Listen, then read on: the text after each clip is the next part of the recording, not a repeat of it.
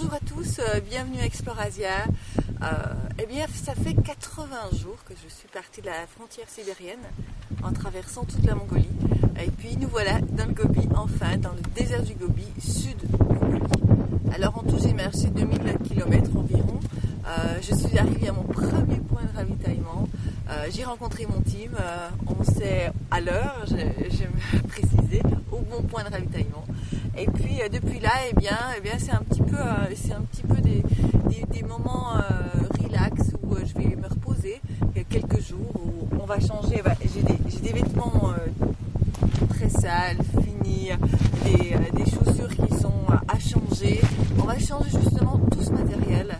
Et puis depuis là, eh bien, je vais manger beaucoup de légumes, beaucoup de fruits parce que j'en ai rêvé pendant tout ce temps. Ça a été vraiment traversée épique, on va pouvoir dire ça, pour me préparer parce que le prochain point euh, très important pour moi et qui va être à mon avis très challenging, ça va être la traversée euh, depuis la Mongolie jusqu'en Chine. Voilà, la prochaine étape c'est la Chine. Alors ben, moi je vous dis à bientôt pour cette prochaine étape.